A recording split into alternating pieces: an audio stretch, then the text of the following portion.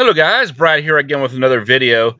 And uh, recently I saw that uh, a couple of fragrance reviewers, Steven and Carlos, have uh, started this new tag. Um, it's called something like Four Fragrances for Life, One House. Now, I recently did a tag video uh, with four, uh, four fragrances from different houses, and that was tricky enough. But this you know, this really ups the ante a little bit because now you have to pick one house. And really, there's not uh, too many fragrance houses that uh, I have in my collection where I have four full-size bottles and also a decent fragrance for each season. But uh, I think there is one house that I do uh, own quite a few bottles from, and I think I can cover all my bases with that house. That is the house of Zegna. Uh, Zegna is a house that uh, I've been a big fan of for quite a long time since the early years of my fragrance channel. Um, so really, Zegna is is pretty much uh, the default choice here because uh, I, have always enjoyed their fragrances so much. You know, there's Ted Baker, but a lot of my Ted Baker videos were based off of samples or minis. So uh, I don't think I have enough full-size bottles to cover that house. Um, course, these other houses, um, I again probably don't have enough bottles. And if I do, I think a lot of fragrance houses uh, seem to favor a particular season. Like I think John Varvatos, you know, is more of a cool weather fragrance house, and like Acqua di Parma.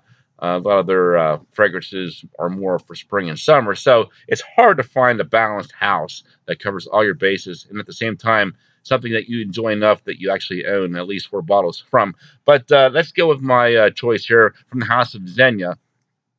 So let's start with my spring choice. Uh, let's go with uh, one of their uh, high-end uh, Essenza fragrances. This one is called Sicilian Mandarin.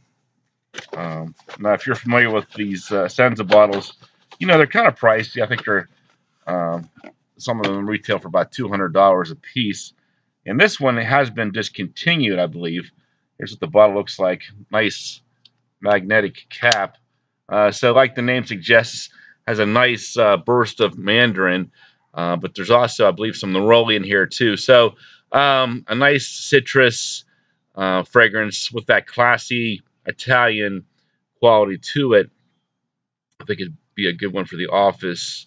Um, I haven't really worn this one a lot, but uh, I think I could uh, see myself wearing this one on a regular basis in the hot weather because, you know, as an older guy, you know, the classic Italian approach seems to be a good way to go. Then when it gets a little bit hotter in the months of summer, uh, well, now we're going in the opposite direction. This is a much cheaper fragrance from the House of Zegna. Zegna Z, this is, I think, the Zegna fragrance that kind of started my whole um, journey into the Zegna house. Zegna Z, just a nice uh, aquatic scent. Um, it's you know not as classy and refined, I think, as uh, the Essenza citrus fragrances, but this is basically just like your your standard uh, designer aquatic fragrance. Great one for hot weather, and certainly worth checking out if you haven't already. Zegna Z. Then we get into some fall months where it gets a little bit cooler, and you maybe want something a little bit sweeter or heavier darker. For that, I decided to go with Zegna Forte. Zegna Forte, yes, a good cool weather scent. It's, again, even though it, you can probably get this one on fragrance, fragrance net for maybe 20 $25. Really nice looking bottle. Has like a smoked glass look to it. A Forte, this one, it's got the tobacco in there, but it's very sweet, like a honeyed tobacco some spice in there. So, uh, you know, for the fall, I think I will go with uh, my bottle Forte. And of course, now we're getting to some very cold, wintry weather, and you want something, again, kind of dark, spicy, sweet.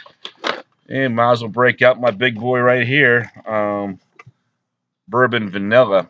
Glad I picked this one up, actually, even though you know, it's an expensive fragrance. It's been discontinued, and uh, it's practically impossible to find anywhere on eBay. You might occasionally see a bottle for sale for about three hundred dollars, maybe some decants floating around. But uh, yeah, this this is like my uh, alternative to tobacco vanille. It kind of has that same kind of a vibe to it. It's not a tobacco scent, but just like a, a sweet, spicy vanilla scent, and it's great for cooler weather. Um, and Zegna has a lot of other fragrances. I could have easily made my uh, rotation for four fragrances for life as well. In fact, if, if this was a serious list, I probably would consider Zegna's Uomo, which uh, is like a violet leaf fragrance, kind of has a similar vibe to uh, Yves Saint Laurent's L'Homme Libre. So uh, if I if I uh, wanted a fragrance for life, I would probably consider getting that one. I think another one is uh, Intenso, which is a really nice fragrance. It's kind of like a fruity uh, fragrance, like a fruitier version of uh, Armani's Code. So that's another one that I might consider as well if I had a bottle. I uh, just had some samples of that one. So those are my four choices for this fragrance tag from the House of Zegna. Great house if you're looking for all seasons of fragrances. Um, some of these are discontinued and hard to find. Some of them can be found at cheap on discount sites. Some you will have to shell out some big bucks to find because uh, they're discontinued and very expensive. So uh, just uh, try to be uh, careful with how you spend your money here. If you can find a good price on a Zegna, you pick it up. If it's uh, you know somebody trying to rob you, might want to think about an alternative. So there you go, guys. Thanks for watching, and I will talk to you later.